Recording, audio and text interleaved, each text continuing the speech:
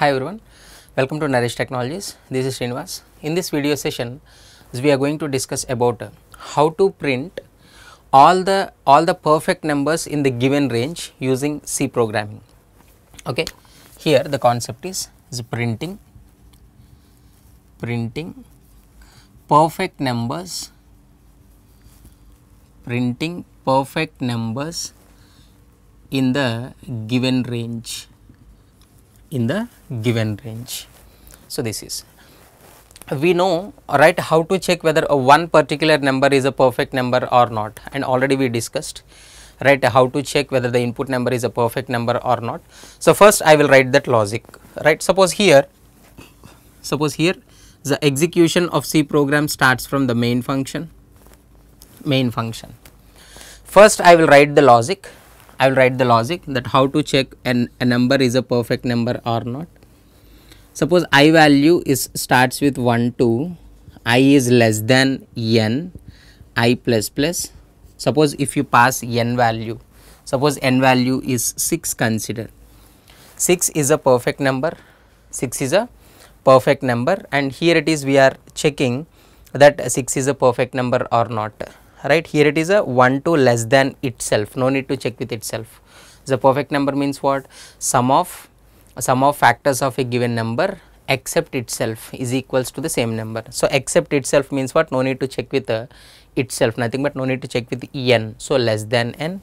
Every time every time if n value is divisible by i if you found any factor just sum is equals to sum plus i plus i. So, this is a for loop is used to check is used to check the given number is a perfect number or not. We already discussed in a perfect number program video right, but here now now we need to check within the range within the given range how many perfect numbers are there.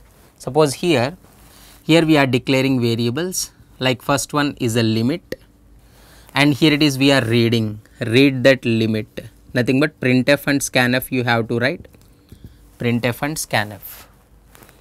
And now here, so using this logic we are checking, we are checking n is a perfect number or not. So here it is in the outer loop, outer loop. Now n value starts with 1, n value is a starts with 1 and n is less than or equals to limit limit and n plus plus variables we are declaring like this n value, i value, sum value. So, like that we are declaring.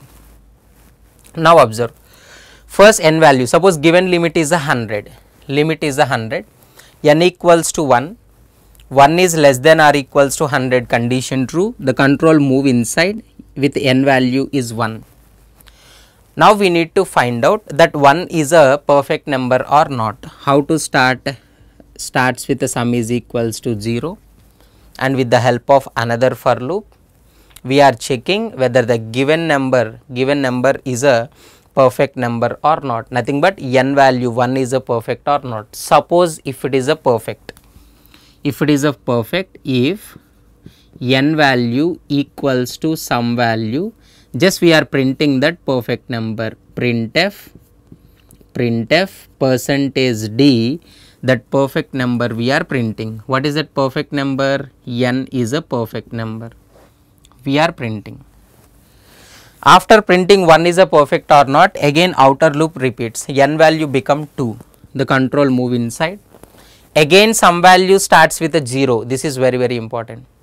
Sum value. Because the second number we are checking whether it is a perfect number or not. Again with this help of this for loop it will check 2 is a perfect number or not. If it is a perfect number, it will print. Next again, n value become 3. Now again it will check 3 is a perfect number or not. Next 4 is a perfect number. Like that it will go up to 100. 100. The same logic. So this is actually this is actually to check whether the number is a perfect number or not. So this is only checking only for checking one number is a perfect number or not. What is that number n? So that's why here it is the complete logic. We are writing in another loop. In the another loop n value is repeating from 1 to that given limit. Suppose n value 1 1 is a perfect number or not? N value 10 10 is a perfect or not? N value 25 25 is a perfect or not? One by one it will check right? So this is the simple way of printing all the perfect numbers in the given range or in the given limit okay? Hope you understood. For more videos please subscribe to Naresh IT channel. Thank you